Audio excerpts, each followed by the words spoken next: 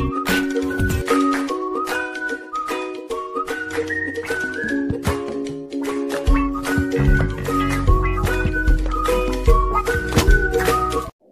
friend welcome back to my channel কেমন আছো তোমরা?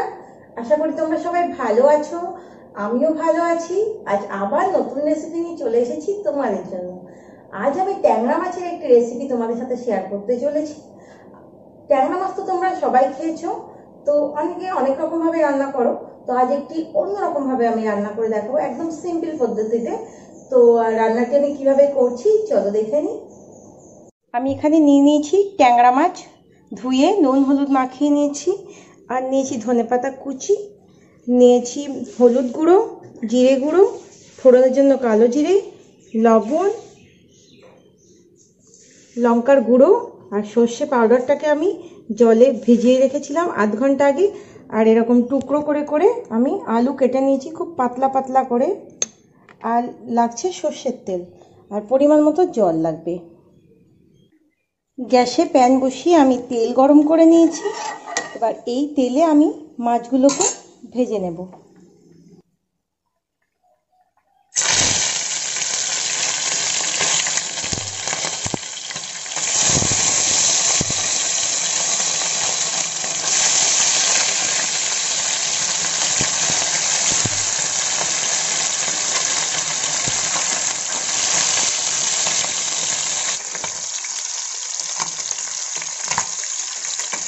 ভেজে তুলে নিয়েছি, এবার ওই তেলে আমি, এবার ওই তেলের মধ্যে আমি কালো জিরে ফোড়ন দিয়ে দেবো।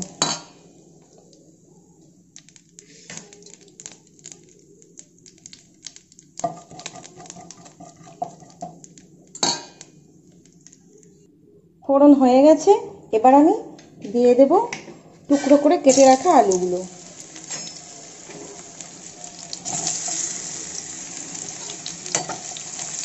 ভালো করে আমি এগুলোকে ভেজে নেব। আলু ভাজা হয়ে গেছে। এবার আমি এর মধ্যে দিয়ে দেব জিরে গুঁড়ো। এই জিরে গুঁড়োটাকে আমি একটু জলে ভিজিয়ে রেখেছিলাম।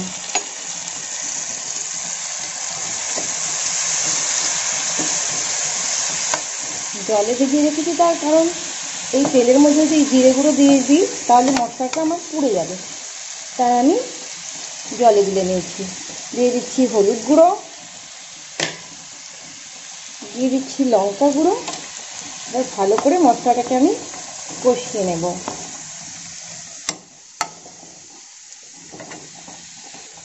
এবার আমি দিয়ে দিচ্ছি স্বাদ মতো লবণ।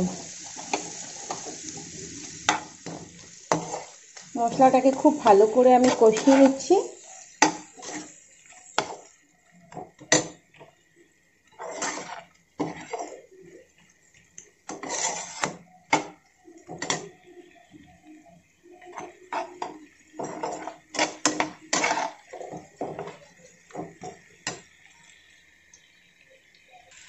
মশলাগুলো ভাজা ভাজা হয়ে এসছে, এবার আমি সামান্য পরিমাণ জল দিয়ে দিচ্ছি।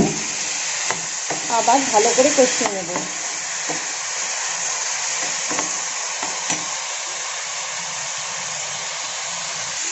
একটু কষিয়ে নিয়ে এবার আমি যে সর্ষে পাউডারটা জলে আমি ভিজিয়ে রেখেছিলাম আধ ঘণ্টা সেটা দিয়ে দেব।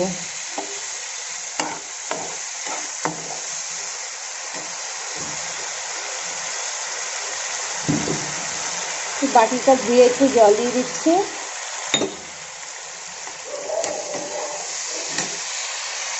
এবার একটু কষিয়ে নেব, হালকা করে একটু কষাবো।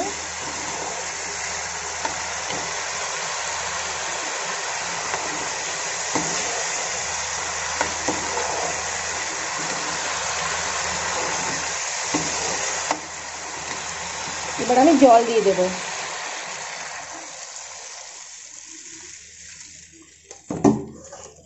বেশ খানিকটা জল আমি জল আমি বেশ খানিকটা দিয়েছি, একটু ঝোল ঝোল থাকবে। আর মাছগুলো সেদ্ধও হবে ঝোলটা ফুটে গেছে, এবার আমি এর মধ্যে ভেজে রাখা মাছগুলো অ্যাড করে দেব।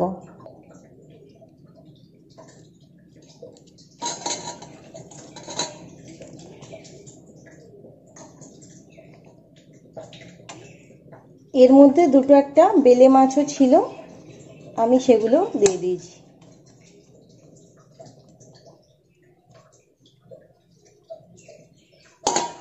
এবার একটু ঢাকা দিয়ে ফুটতে দেব। গ্যাসের স্টিমটা একদম কমিয়ে আমি ঢাকা দিয়ে দিলাম। পাঁচ মিনিট হয়ে গেছে, এবার আমি ঢাকা খুলে দেখে নিই আলুগুলো সেদ্ধ হয়েছে কিনা। আলুগুলো আমি পাতলা পাতলা করেছিলাম, আশা করি সেদ্ধ হয়ে গেছে। হ্যাঁ সেদ্ধ হয়ে গেছে। এবার গ্যাসে স্টিমটা একটু মিডিয়াম করে দিয়ে আর একটু ফুটিয়ে নেব ভালো করে।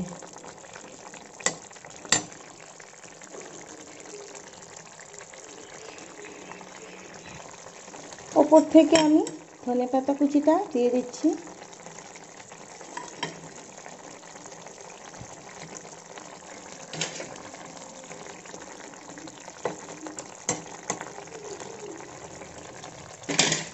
আর দু মিনিট আমি ঢেকে দিই। গ্যাসের স্টিমটা কমিয়ে দিলাম।